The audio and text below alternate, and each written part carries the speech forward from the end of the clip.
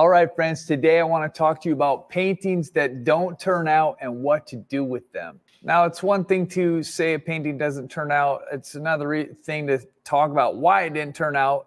Um, and I'll, I'll go into that a little bit here, but this is a painting that I started on location at a vineyard a few years ago, and I left without getting the painting finished.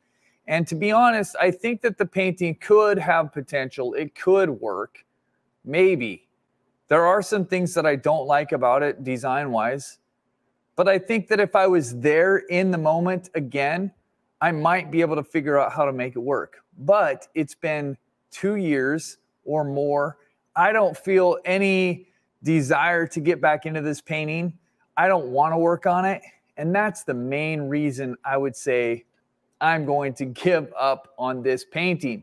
Not because it couldn't be fixed, but because I don't feel like I want to work on it. So let's talk about what we could do if we're going to get rid of a painting like this.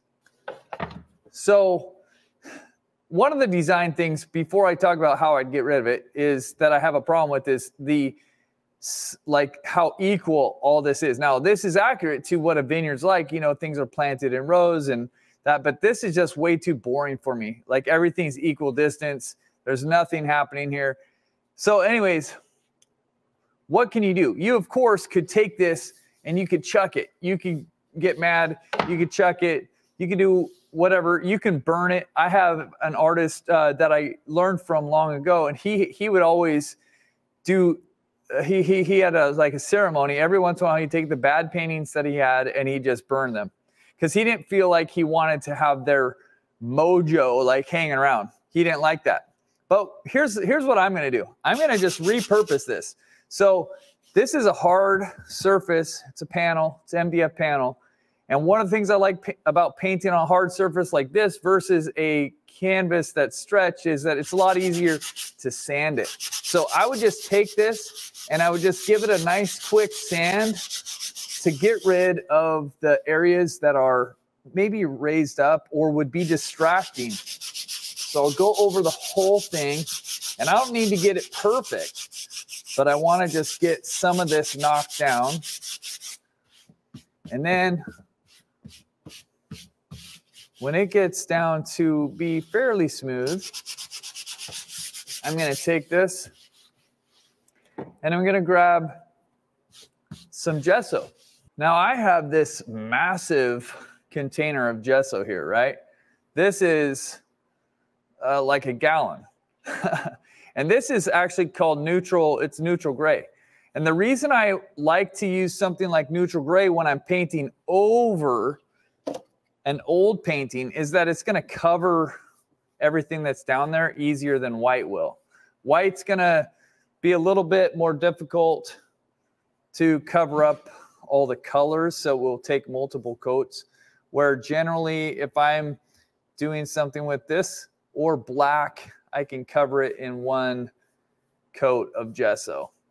And it's going to look good enough for me to feel uh, great about painting over it. So you can see if you look close, you might not be able to notice, but there's a couple places on here that have a slight texture coming through. But it's not anything that is super bad. So, like I said, I'm not that worried about it. When I put on the the next painting over top of this, uh, it's going to have some extra texture, so that texture underneath will blend in.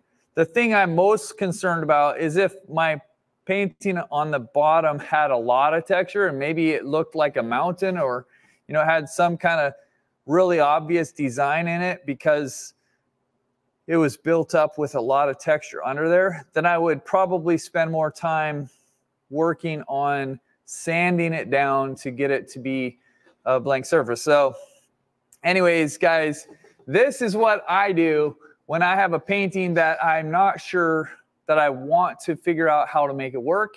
And I, at the same time, don't feel like I just want to throw the canvas out or the panel out. I will take something like gray gesso, neutral gesso or black gesso and I will paint over it. And then all of a sudden I've got something that I can work with again here. And I wouldn't be surprised if I do one of my next lessons on this exact panel and therefore it has a fresh life. Hey, if you like this video, make sure you give it a like and subscribe to our channel and leave a comment below telling me what you would like to see a video about because I'm here to serve you and help you in your artistic journey. Remember this, you are loved and believed in. I'll see you next time.